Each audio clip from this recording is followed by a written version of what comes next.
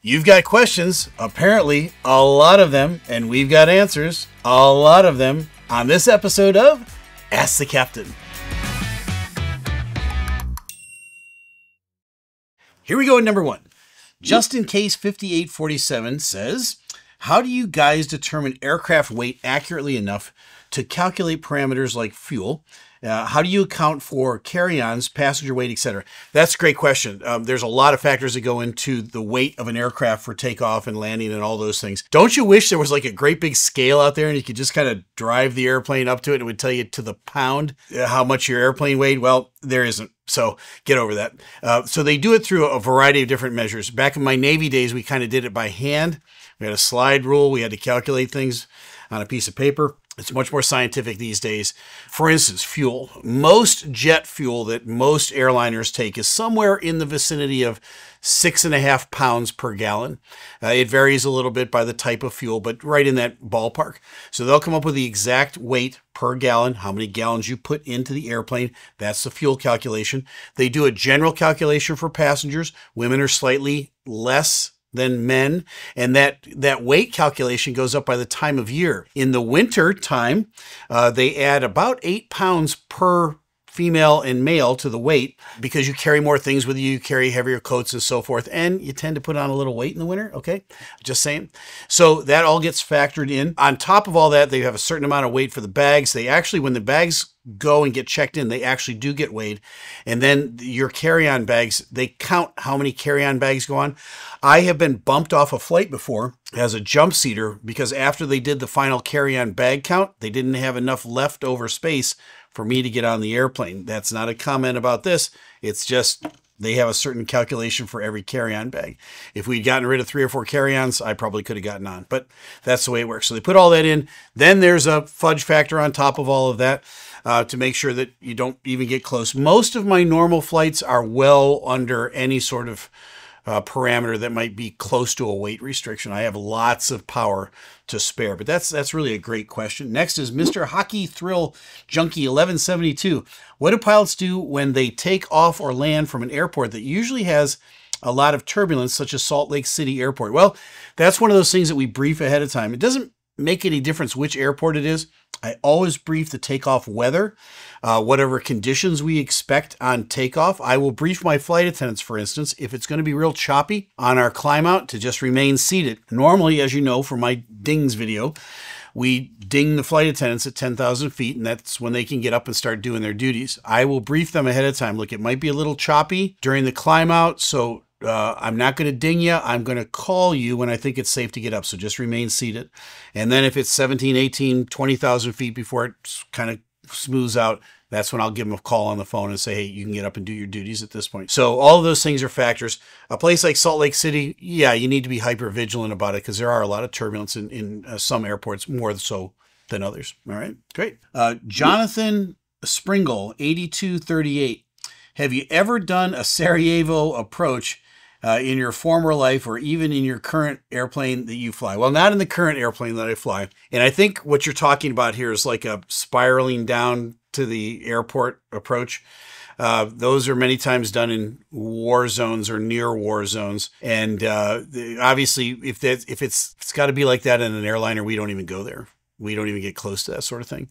Uh, now, back in my military days, did we do some stuff? Yeah, we did, and I can't talk about it, but it, it was you know similar to this. There's all sorts of different operations that you do that uh, you know you want to stay out of harm's way, and, and you don't want to get detected. That's probably the bigger thing as well. So, uh, have I done it? Yes, in a former life, not at the airlines. Great, great question.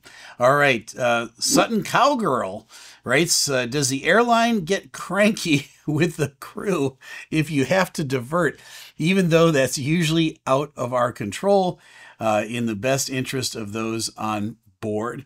Um, yeah, and uh, you might actually be in the airline business, by the way you put that question. But we, uh, I have never gotten any pushback anytime I've had to divert.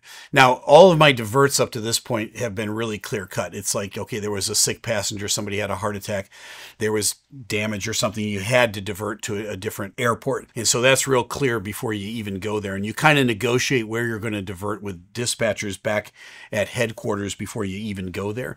Now, have there have I heard about over the years that were kind of like divert happy.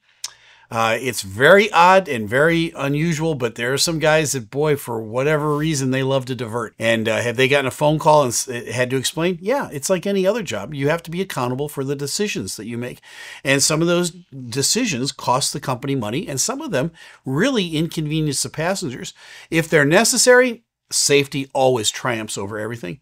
But if they weren't so necessary and it was just kind of a you thing, then you'd expect a phone call and have to answer for that. I've never I've never had one of those phone calls, but yeah, that's a that's an excellent question actually. All right, Corn Delta writes, uh, why do some people actively refuse to wear their seatbelts on planes?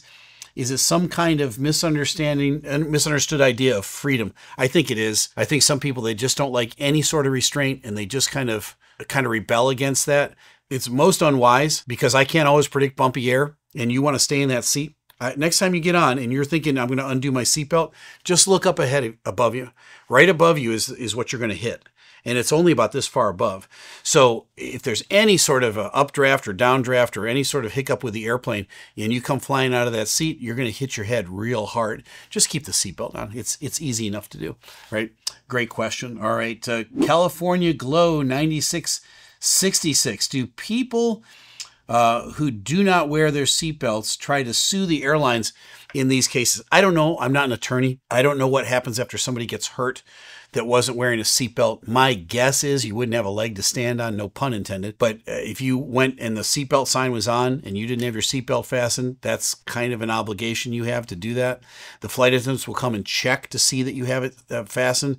But I've seen people, as soon as the flight attendants come down and check, as soon as they pass, they do like that and they open up their seatbelt again. I'm like, why would you do that? It's only going to hurt you. And so would somebody sue for that? I'm, you know, everybody's tried virtually everything over the years.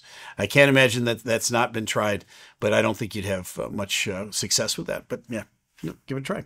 All right, Andrew Price, 1189. As a pilot steering on the ground, is it difficult to judge how wide any given aircraft is? And is the pilot's ultimate responsibility to make sure you have space to get through any given space? Yes, this is an excellent question. So, my aircraft is like a ship at sea and there are certain levels of what you call maritime law that apply. So this is a much bigger question than you asked. But once I get underway and I'm moving, if I strike anything on the ground, including another aircraft or a truck or a sign or anything that's not moving, I am always at fault. It's a ship at sea strikes a ship at rest. The ship at sea is always at fault. So I've got to make doubly sure that I don't run into anything. But from the cockpit, I can't see the ends of my wings. I just have an idea of where they are. Now I know the number, I, mean, I know how wide the airplane is, but I can't calculate that by looking out uh, just out the window because I can't see exactly where the end of the wing is. So I always give it a little extra space. You kind of get a feel for it over the years, especially when you're taxiing an airplane around a, a corner and you you the nose gear of the airplane, that nose wheel is actually behind me where I'm sitting in the cockpit. So I've got to judge where that nose wheel is. I want to bring the nose wheel out and around so I don't keep it always on the, the center line. I bring it out and around a little wide so that when I do make my turn, the main mounts and that big rear end of the airplane pivots out as well, and I stay on the center line of the taxiway. There's a lot of judgment that goes into taxiing and a lot of practice that does, but for the most part, it's done very successfully. But that's that's a very insightful question. Weisenberg, 5570. Several years ago, I heard about new technology that could potentially avoid more of these turbulence issues are we there with this new technology? Yes, we are. The future is today. Now, is it getting better all the time? Yes. I'm eager for them to redo the entire air traffic control system. I think in terms of turbulence, we're going to get even better information out of them. That's just one part of the equation. I've got an iPad now that's on Wi Fi constantly. I get constant updates on the weather. I've got a, an app that's called SkyPath and I can watch every other airplane uh, in the sky, and I can see behind them what their turbulence were. So I, it, they turn white, yellow, or kind of red if it's severe turbulence or real moderate turbulence. So I can look and I can go, hey, look, all these aircraft up in front of us, they're all going through moderate to uh, worse turbulence. And so we'll reroute. We'll, we'll try to get away from that path so we don't go through those turbulence. And I get a, an alert that says uh, moderate turbulence five minutes ahead. That's really almost pilot proof right there. So I can warn everybody in the back, take a seat, strap your seatbelt in. because uh, we're going to get a bumpy ride. All right. So the technology has really, really advanced uh, just over probably the last three or four years. Really, really good. So yesterday, it's now today. It's here. All right. Good question. All right. I've got uh, Sebastian uh, Rojas 6290. Can any commercial pilot safely fly any commercial airplane? Well, the, the bigger picture answer on that is yes. When I got hired at my airline, I didn't get hired to fly a specific airplane in that airplane for the rest of my career. They hired me in general as a competent pilot and said they would know that over the years I would change from airplane. Now, from airplane to airplane, I have to go through training. I have to go through simulator training. I have to go through multiple check rides. Then I have to be followed by a check airman or a check pilot for the first 25 hours in the actual physical airplane until I am signed off to be you know, in charge or be a co-pilot or be a captain on that airplane. But could I fly any airplane in our fleet? Yes, I could. If it was an emergency and both pilots were incapacitated and it was an airplane that I wasn't qualified on, um, could I land it safely? Yeah, pretty much so. I, I've got enough experience in large commercial air transport category aircraft that I could land that airplane safely. If you got a lot of flight simulator time, probably not. It's not the same. Just just saying. All right. All right. So let's see. I got Lynn Curdy. A bunch of letters and numbers. All right. Is there a speed limit per plane? Uh, a while back, a flight was delayed while a minor repair was made. When we took off, the pilot announced he was going to go as fast as he legally could. And the answer is yes, there are many uh, speed limits for airplanes. Around the world, below 10,000 feet, the max speed limit is 250 knots. You can go slower than that, but you can't go faster than that. The only exception to the 250 knot rule below 10,000 feet is if air traffic control says to you free speed then you can go faster than that. They don't normally do that. Everybody slows down to 250. Why? Because below 10,000 feet, you're getting spaced into an airport, and they're going to call your speed, most major airports, to slow you down so you don't get too close behind another aircraft. So that's one. Now, above 10,000 feet, it's based on the limit of your airplane. So let's say, for instance, I'm going to Europe and I had a delay on the gate and we're going to be a little bit late. And I say to everybody, hey, folks, we'll do what we can to make up the speed or make up the time to go there. And let's say I was, um, I was uh, dispatched to fly over to Europe at 0.82 Mach. That's a, a, Mach speed that's a percentage of the speed of sound. So 0.82 Mach. Now, my airplane might be able to fly at 0.87 Mach. Uh, could I bump it up a little bit? Sure. So sometimes I'll say to the co-pilot, do we have enough gas? Does it look good? Let's double check each thing. Yep. You want to go over at 8.4? Yep. I want to go over at 8.4. We agree on that and we bump it up to 0.84. So on a long flight that's maybe eight or nine hours, going from 0.82 to 0.84, you might make up 15 minutes at the best. Uh, your headwinds and your tailwinds are going to be the biggest component. But I also have to make sure before I bump up the speed like that, that I've got a smooth enough ride. Because if it gets really bumpy, the faster I'm going, the rougher the ride gets. So I want to make sure I've got smooth air the whole way. So sometimes I'll, I'll just say, you know what, we got to stay at A2 because they're forecasting turbulence up ahead and I can't bump it up. It's going to make the turbulence even worse. So it's a trade off between the smoothness of the ride, the comfort of the passengers, and getting there on time or making up a little bit of time. Those are all the factors that go into it. Most pilots are going to tell you, you know what, we'll do what we can to make up the time. And they're not wrong. They're just limited in some things. But great question. All right. Uh, let's see. I got Scrambler 390 writes, what percentage of stopping is done by the reversers? And what percentage by brakes? Also, if for some reason the reversers failed, could the brakes themselves stop the aircraft upon landing? So let's take those in reverse order. Yes is the answer to that. I have flown many airplanes where one or both of the reversers were uh, placarded INOP. They weren't working, so I didn't have any reverse at all. Yes, you can land the airplane just fine. You have to go into the iPad and figure out your landing distance without any reversers working. It usually adds a little bit of distance, but it's not a whole lot. Why? Because the reversers aren't that big a part of your stopping on the runway. It's a small percentage of the overall effect.